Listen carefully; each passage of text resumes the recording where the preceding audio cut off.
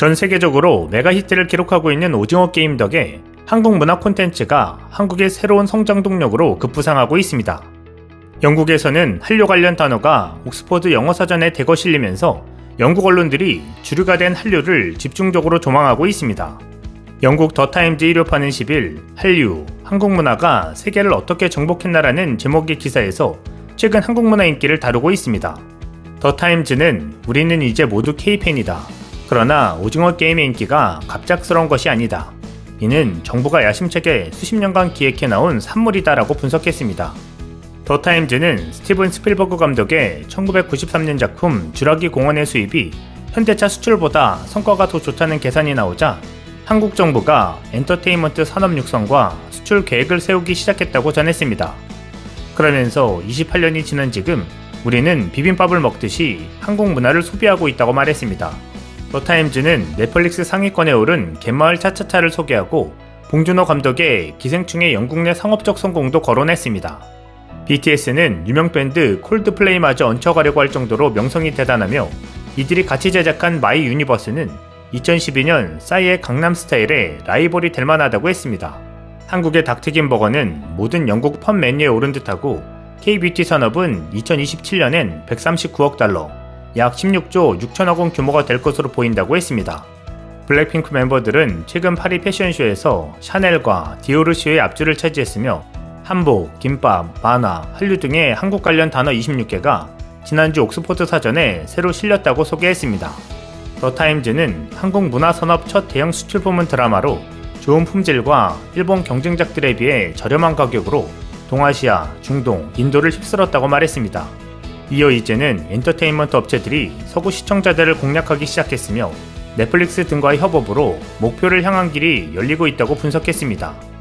대기업들도 K-팝 발전과 세계 시장 진출에 큰 역할을 했다고 더 타임즈는 분석했습니다. 삼성과 현대차는 BTS 스폰서인데 이런 지원은 금세 성과를 냈으며 BTS의 한국 경제 기여는 연간 50억 달러, 약 6조 원으로 추정된다고 말했습니다.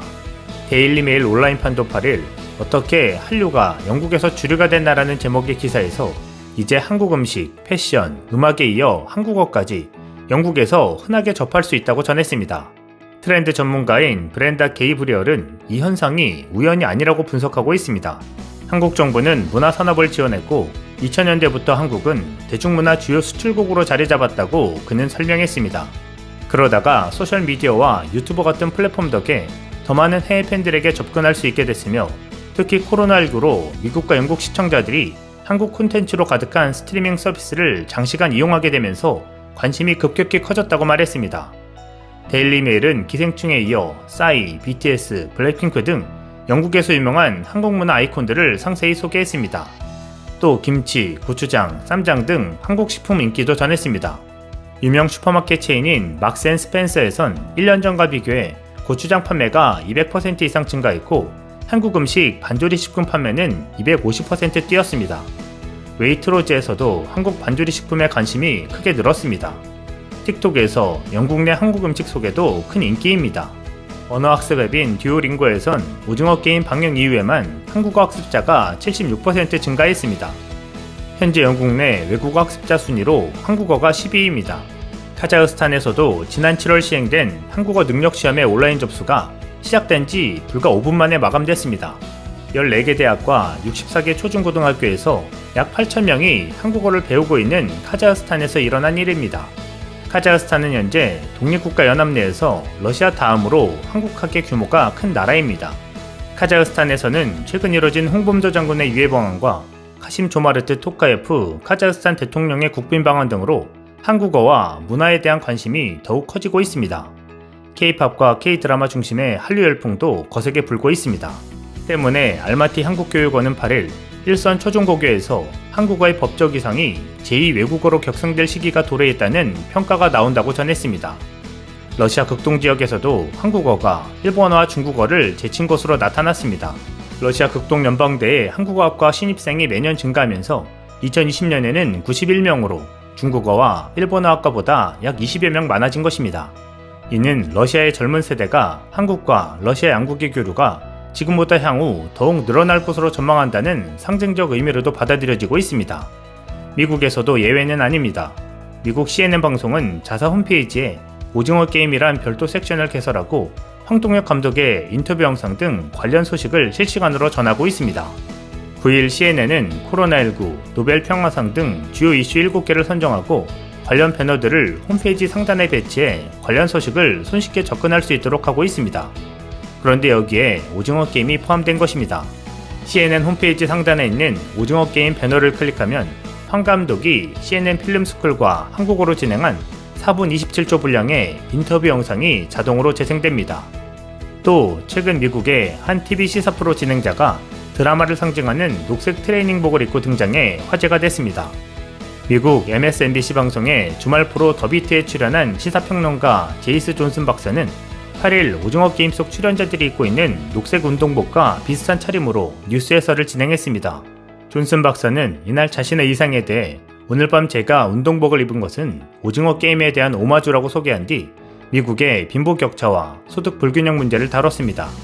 존슨 박사는 이날 미국의 경제적 불평등 심화 현상을 언급하면서 오징어 게임이 미국에서 인기를 얻는 것은 미국인들이 치솟는 불평등 속에 빚에 대한 디스토피아적 우화에 끌리는 것이라고 설명했습니다. 또 코로나 팬데믹 상황에서 소외계층과 교육 수준이 낮은 사람들은 고통이 심해지는 데 반해 일론 머스크, 제프 베이조스, 마크 저커버그 등이 이끄는 미국 6대 정보 기술 기업은 막대한 수익을 올렸다고 꼬집었습니다. 존슨 박사는 끝으로 이런 상황에서 미국인들은 그들만의 오징어 게임에 참가하려고 할까요?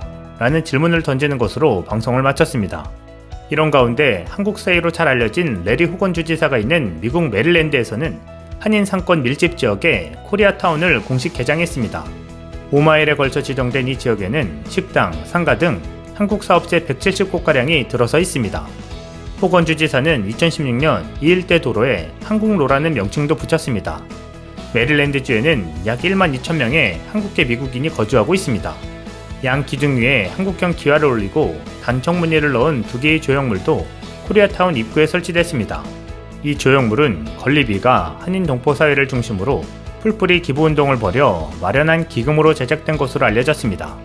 호건 주지사는 인사말에서 코리아타운 개장으로 더 많은 이들이 놀라운 한국계 미국인 공동체에 대해 더 많이 알게 될 것이라고 말했습니다.